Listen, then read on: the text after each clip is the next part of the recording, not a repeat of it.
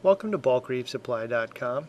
This is an instructional video covering how to use calcium chloride to raise the calcium levels in your aquarium. Raising your calcium is a lot easier than most people think it is.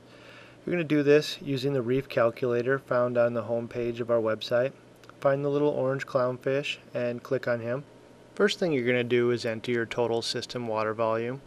This is going to be your tank plus sump minus rock and sand.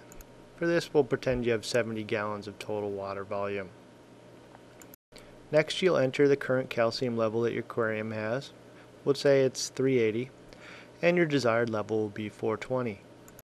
And as your calcium supplement, we're going to choose BRS crystalline calcium chloride.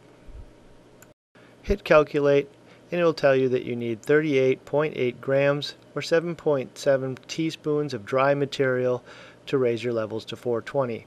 There are some instructions over on the side that tell you to fully dissolve the calcium in purified water, slowly add the solution to a high flow area of the tank, avoid directly blasting corals with the concentrated solution, and try not to raise the calcium levels more than 50 parts per million per day. Since we're only raising at 40, we're going to be okay here. If you are using the popular two-part solution and already have a gallon of calcium solution made, Go ahead and choose a recipe that you've already pre-mixed. For this example, we'll choose recipe 1, and it will tell you that you need 286 milliliters or 9.6 fluid ounces to raise your levels to 420. Again, there'll be some directions over on the side. That's all you need to know to raise the calcium levels in your aquarium to their proper levels using calcium chloride.